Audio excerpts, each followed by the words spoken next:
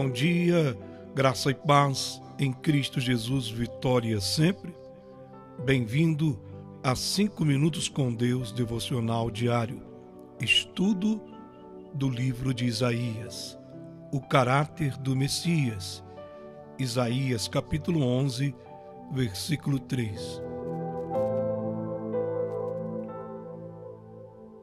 Ele se inspirará no temor do Senhor e não julgará pela aparência, nem decidirá com base no que ouviu, mas com a retidão julgará os necessitados e com justiça tomará decisões em favor dos pobres. Com suas palavras, como se fosse um cajado, ferirá a terra, e com o sopro da sua boca matará os ímpios. Seu deleite está no temor do Senhor. Nada agradou mais a Jesus do que fazer a vontade de seu Pai. Quando diz que com justiça ele julgará, quer dizer que Jesus não confiou na aparência exterior ou nas meras palavras que alguém disse. Ele julgou com justiça. Ele não enganou os pobres e todos receberam justiça. Então todos serão abençoados. Aqui diz que ele ferirá a terra com a vara de sua boca. Ou seja, as meras palavras de Jesus têm o poder de julgar os ímpios.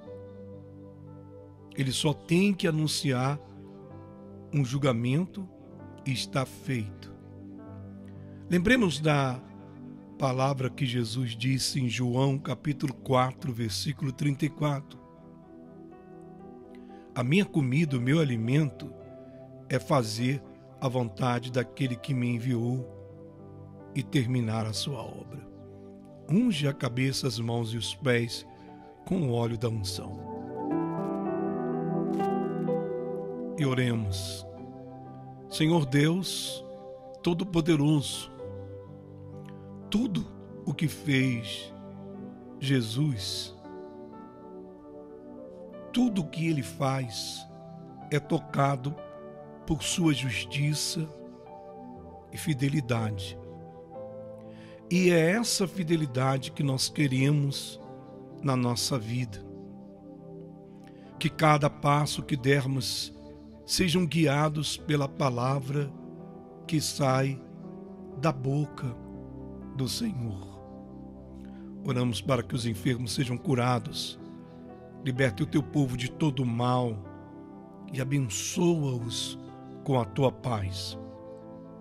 Em o um nome todo-poderoso de Jesus, é que nós pedimos e desde já te agradecemos e oramos para sempre estarmos fazendo a vontade de Deus na nossa vida.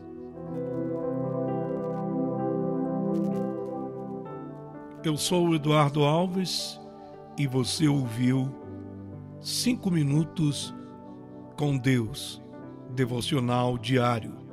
Emuná, tenha fé, pois Deus é bom em todo tempo e em todo tempo Deus é bom.